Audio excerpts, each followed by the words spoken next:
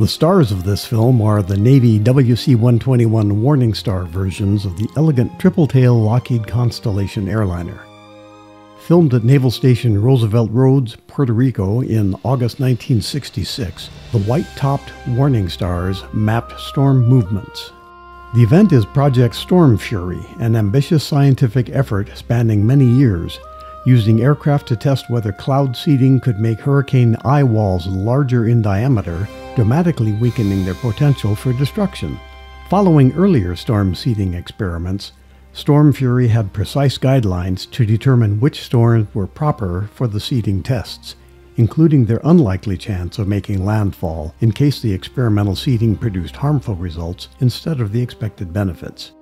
Other aircraft, including Navy A 3 Skywarriors and a U.S. National Weather Bureau radar equipped Douglas DC 6, are filmed taking off from Roosevelt Roads.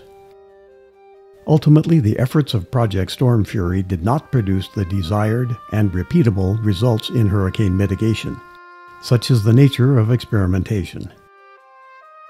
The EC 121 Warning Star was a radar early warning platform used by the U.S. Navy as well as the U.S. Air Force.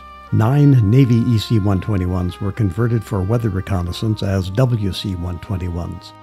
The basic EC 121 was based on Lockheed's Model L 1049 Super Constellation airframe. Four Wright R 3350 engines powered the Warning Star, giving a top speed of more than 320 miles per hour at 20,000 feet. I'm Fred Johnson for the Air Aerial Images channel. As we wrap up another year of bringing you rare and unique videos, both new and vintage, we thank you for watching.